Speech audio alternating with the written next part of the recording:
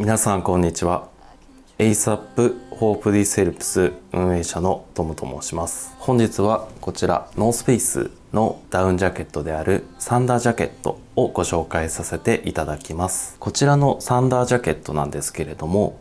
今回ご紹介しているモデルが2019年モデルの商品型版 NY81812 というモデルなんですけれども今年の秋冬モデルから、えー、型番が変わりまして NY32012 という型番に変更されております。ちょっと違うモデルで今年のモデルとは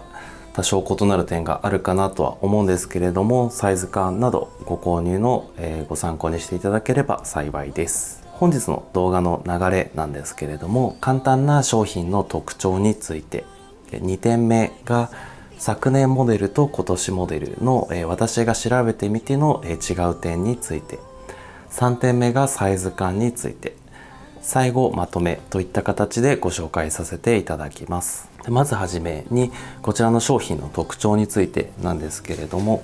こちらが、え高電子ダウンを使っておりまして、え非常に軽くて暖かい、えというのが商品の特徴かなと思います。で、え濡れても、え保温力を、え下げにくい性質を持っておりまして、え表地もナイロンなんですけれども撥水加工が施されておりますので多少の水でしたら濡れても保温力も保てますし、え撥水もしてくれるモデルとなっております。非常に軽いのが特徴で着ていてで肩が凝らないと言いますか非常に軽い形になっておりますノースフェイスのロゴなんですけれどもこちらは刺繍ではなくてプリントで左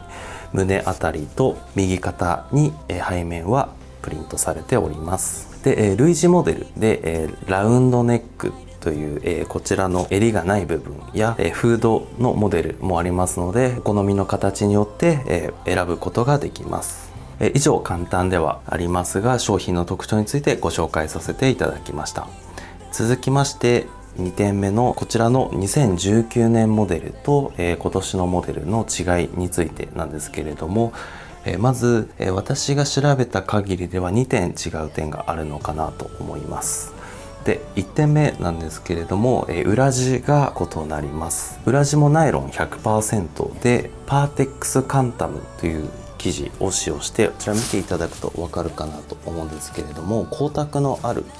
えー、ツルツルとした肌触りになっております。でこちらなんですけれども、えー、今年のモデルの、えー、ノースフェイスの公式オンラインから見てみると Pertex Quantum Eco というエコの文字が追加されておりました。近年ではノースフェイスは、えー、非常に環境問題に取り組んでいるので、えー、リサイクルポリエステルなどを使用している商品が多くなってきたんですけれどもこちらのサンダージャケットも裏地が、えー、エコていう素材に変わっていたのでもしかすると何かしらの変更があったのではないかなと思います。こちらちょっと実物をまだ見ていないので詳しいご説明はできないんですけれども、え多少生地が変わったという点があります。で2点目なんですけれどももし、え違ったった場合は、えー、大変申し訳ないんですけれどもこちらの2019年モデル今までのモデルはポケッタブル仕様というものがなかったと思うんですけれども今年から、えー、ノースペースの公式オンラインでポケッタブル仕様という、えー、ところが記載されておりました。えどういったものかと言いますとこちらのポケットに、えそのままこちらのサンダージャケットをコンパクトに収納できるといった仕様になっております公式オンラインの画像の一覧の中にノースペースのロゴが入った裏地でこういったコンパクトになりますという画像があったんですけれどもこちらは裏地も特にロゴが入っていないですし僕の記憶ではポケッタブル仕様とは以前のモデルは書いてなかったのでそこが相違点かなと思います。もし、えー、こちら去年もあったよとご存知の方いらっしゃいましたらコメントで、えー、お伝えいただければ幸いです。で以上2点が私がちょっと見比べてみて異なる点かなと思います。3点目のサイズ感についてなんですけれどもこちら作りが少し小さめとなっております。私の身長が176センチ体重67キロでこちら L サイズでジャストサイズかなと思います。M も着用したんですけれども肩周り肩幅が結構タイトだったので、L サイズを購入しました。もし肩幅が少し広めの方でしたりゆったり着たい方でしたら、え1サイズもしくは2サイズアップでもいいのかなとます。それでは着用動画をご覧ください。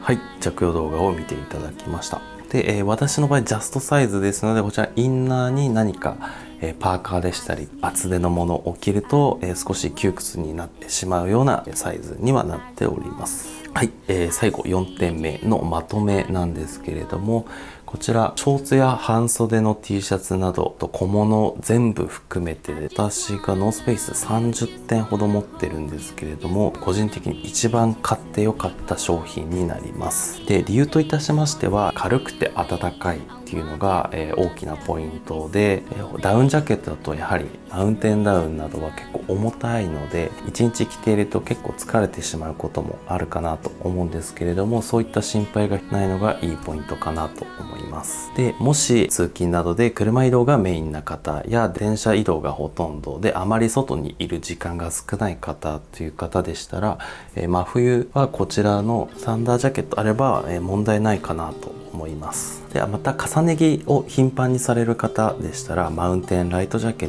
トなどのシェルジャケットをお持ちでインナーにサンダージャケットなど、着て着れば冬でも全然寒さに対応できると思いますのでそういった重ね着ができるという部分もいいのかなと思います。ですので秋のアウターとして真冬のインナーとしてその後も春にかけて着用できるので長いシーズン着用できるというのも非常にいいポイントかなと思います。たまに聞かれるんですけれどもダウンが抜けてしまうことが多いっていう声があるんですけれども私のこちらの商品を着ていてあまり感じたことはないんですけれどももしかすると個体差であったり私がただ鈍感で気づいていないだけっていうこともあるかなと思うんですけれども私はそこまで気にはなりませんでした。ただ今年も、え品番が変わったということで多少、え変更はあるかなと思いますのでちょっと一概には言えないんですけれども私は気にならなかったっていうところではあります。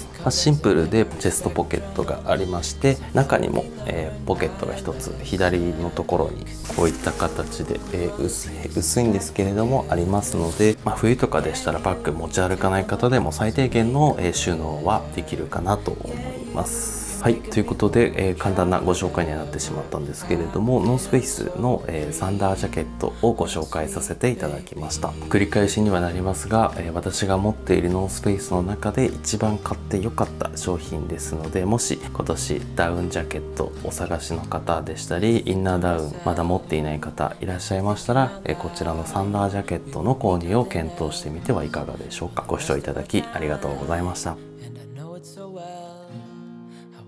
Always be by your side.